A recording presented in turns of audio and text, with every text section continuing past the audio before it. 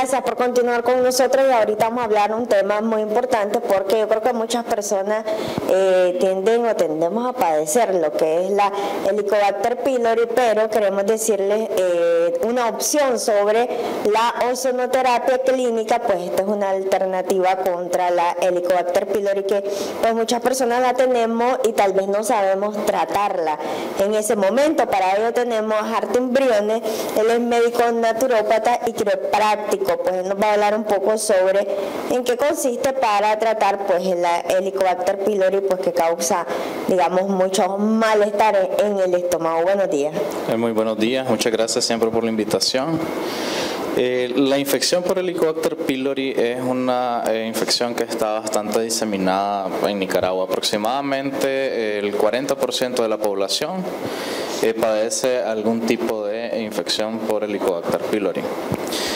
Eh, realmente hemos satanizado a la bacteria, ¿verdad? Pero hay que darnos cuenta que realmente ella forma parte de la microbiota intestinal normal, ¿verdad? Entonces es normal que nosotros encontremos el helicobacter en nuestro colon e incluso en algunas porciones todavía de eh, intestino delgado.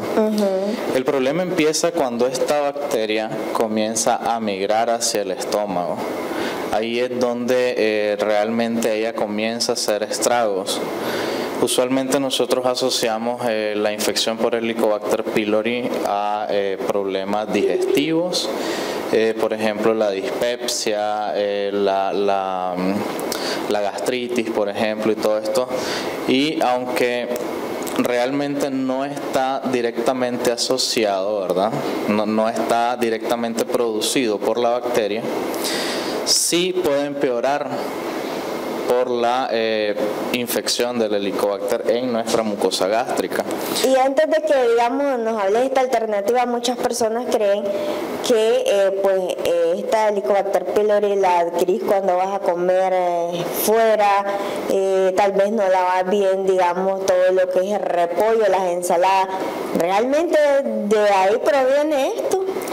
Todavía no se ha logrado demostrar cuál es el, por decirlo así, el vector, ¿verdad? pero ah, como te decía, realmente es una bacteria que normalmente la encontramos en nuestro colon.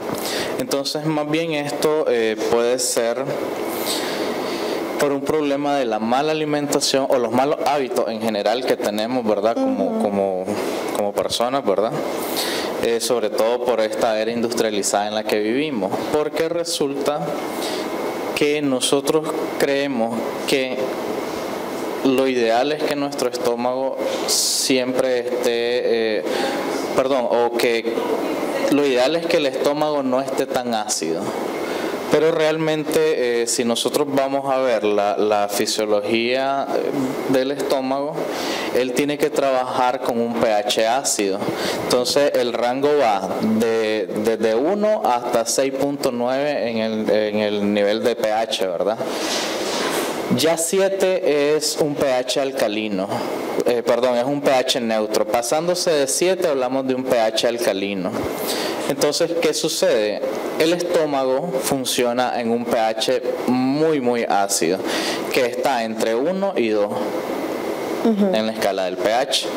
Entonces, ¿qué sucede? Eh, la bacteria vive en entorno ácido pero no, no puede vivir en un entorno tan ácido como el que tiene el estómago como el que debería de tener el estómago, que es entre 1 y 2. Entonces, ella, nosotros vamos a encontrar, si, hacemos medición de pH en estos pacientes positivos con helicobacter, vamos a encontrar que el pH de su estómago está, eh, si bien pues él sigue siendo ácido, pero está más tirándose hacia lo alcalino.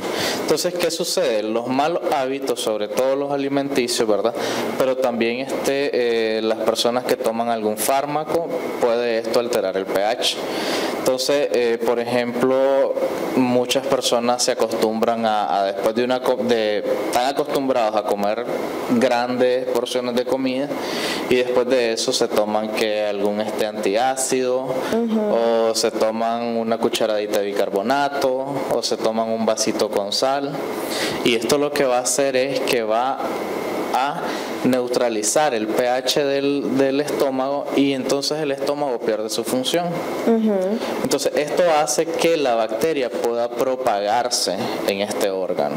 Mm. Ahora, en este caso, digamos, por ejemplo, la persona, eh, ¿cómo debe saber o cómo le deben de diagnosticar en este caso que tiene esta bacteria?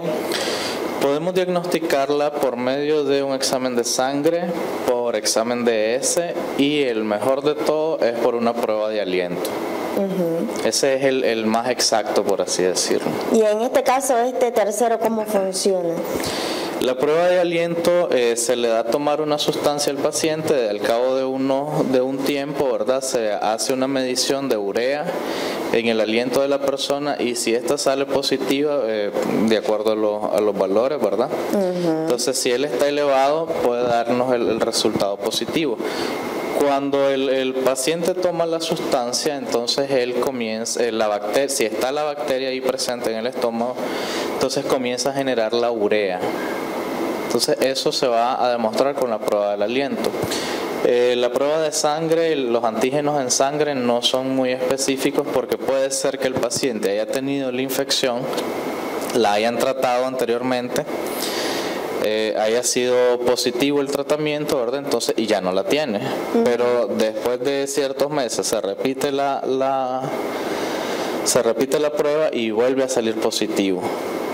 Entonces no es muy exacta. Y en la S es lo mismo. Eh, porque, este, ah, como te decía, pues el helicobacter, ella puede vivir en el estómago, en el colon, perdón. Interesante esto, en este caso, digamos, pero eh, esta alternativa en la ozonoterapia, clínica, digamos, ustedes cómo la tratan ya una vez una persona, digamos, diagnosticada que tiene pues, esta enfermedad, ¿qué es lo que debe hacer? O esta bacteria, mejor dicho. Sí, ya después que nosotros eh, tenemos un diagnóstico positivo por el Helicobacter, nosotros tenemos siempre, ¿verdad? Tenemos que atender al paciente de una forma integral. En primer lugar, cuidando su hábito alimenticio sobre todo y eh, tenemos que ver los tipos de fármacos que eh, consume de forma crónica. Pero también tenemos que eh, saber si el paciente ha tenido anteriormente tratamientos contra la bacteria, porque eh, de eso va a depender mucho la resistencia que esta bacteria pueda haber generado. Que de hecho ese es el mayor problema de hoy en día, ¿verdad? Para eh, el tema del helicobacter, que las personas para todo usamos antibióticos. Entonces, al usar tantos antibióticos, las bacterias se van volviendo más resistentes cada día. Mm. Nosotros vamos perdiendo nuestra función inmunológica normal nos vamos, eh, vamos deprimiendo el sistema inmunológico, entonces ahí es donde las bacterias aprovechan. Entonces no, no podemos, ¿verdad?, este, obviar esta parte. Entonces ahí es donde entra en juego la ozonoterapia, porque nosotros al controlar todos los, este, todos los flancos, por así decirlo, eh, eso nos va a permitir a nosotros, en primer lugar, con ozonoterapia nos va a permitir eh, subir las defensas de la persona, del paciente porque el ozono, ¿verdad? La ozonoterapia funciona eh, o tiene, la, tiene la, la, función de ser un antioxidante en nuestro cuerpo. Entonces también él va a ir mejorando la inmunidad en el paciente. Otra de las propiedades que tiene el ozono clínico es que es antiinflamatorio. Y usualmente eh, la mucosa gástrica cuando hay estas alteraciones comienza a inflamarse, que de hecho el, mayor problema cuando nos encontramos delante del helicobacter es la inflamación de la mucosa gástrica, porque entonces eso permite una permeabilidad de esta mucosa y se va perdiendo la capa protectora del estómago y eso puede generar en un cáncer estomacal. Ahora, en este caso muchas personas creen en eh, que ya decía, pues se sometió al tratamiento y después te dicen, yo tuve la bacteria, ya no tengo nada, pero también decías algo muy importante que siempre pues, está presente. Así es. No hay que satanizarla, ¿verdad? En realidad ella forma parte de la microbiota intestinal normal Eh, más bien hay que ver que la función de nuestros órganos estén en perfecto estado, porque realmente el nicaragüense va al médico cuando algo le duele. No tenemos la cultura de la prevención. Entonces, eh, como ya nos empieza a doler el estómago, ya nos empieza a generar ardor, ya empezamos a tener reflujo, entonces ahí eh, nos empezamos a preocupar porque agua bebemos, me dicen agua bebo y ya estoy con la, con la acidez o ya estoy con el reflujo. Entonces, no hay que esperar a llegar a, esos extremos, ¿verdad? Siempre hay que buscar cómo eh, prevenir que las cosas se salgan de control. Entonces, eh, con, este, el manejo integral que nosotros tenemos, por ejemplo, también tratamos todo la disbiosis que está asociada con estas alteraciones, porque no solamente el helicobacter puede estar eh, sobrepoblado, ¿verdad? También podemos tener una disminución en algunas otras, eh, en algunas bacterias benéficas que tenemos en nuestro cuerpo. Entonces, eh, estas son las llamadas disbiosis. Entonces tenemos que hacer un, por eso es la importancia de hacer un tratamiento integral. Ahora, en este caso, digamos, estos procesos son, o estos tratamientos son caros o son accesibles para la persona pues que tiene eh, esta bacteria y tal vez quiere pues eh, someterse al tratamiento. En el largo plazo son muy económicos. Son muy, muy económicos porque... Eh, por ejemplo, estamos acostumbrados a veces a tomarnos una pastillita que cuesta qué sé yo, cinco córdobas, pero nos tenemos que tomar tres pastillitas al día, ahí son 15 córdobas. Y tenemos que hacer esto de forma crónica por el resto de nuestra vida y tal vez tenemos 40 o 45 años y nuestra expectativa de vida es llegar a los 80. Entonces, en el largo plazo eso, eso va a salirte más caro que hacer una inversión en tu salud ahorita, en este momento, para evitar llegar a complicaciones mayores. Entonces yo creo que ahí va a depender mucho de eh, cómo está la, la visión del paciente. Ahora, ¿qué recomendaciones entonces voy a dar para aquellos que sospechan que tienen pues eh, esta bacteria y para los que lo tienen ya confirmado, qué es lo que deben de hacer para evitar pues eh, esas crisis o, esas complicaciones a futuro? En primer lugar, hacerse los exámenes pertinentes, ¿verdad? Busquen a sus médicos y que les manden a hacer los exámenes pertinentes. En segundo lugar, si hay alteraciones a nivel digestivo, ¿verdad? Por ejemplo, la persona come o toma algo y ya se le inflama el, abdomen o está teniendo reflujo, estas cosas eh, muchas veces se pueden presentar sin necesidad de que estemos con la infección por el Helicobacter.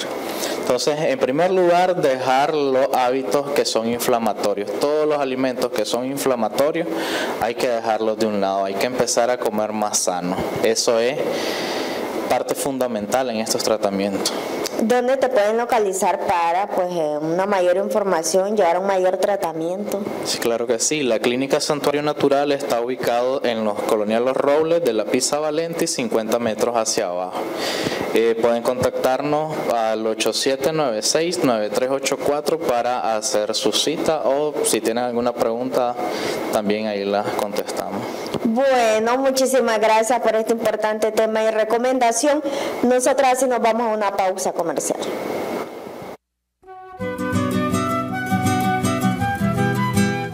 Reconocimientos, denuncias, quejas y sugerencias.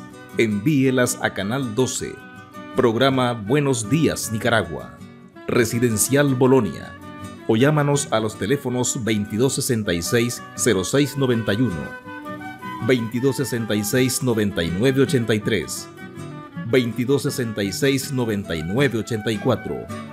Escríbanos a nuestro correo electrónico canal12 arroba canal12.com.ni. Redes sociales, Facebook Noticias 12 Nicaragua, YouTube, Canal 12 Nicaragua, Twitter arroba Canal 12 Nic.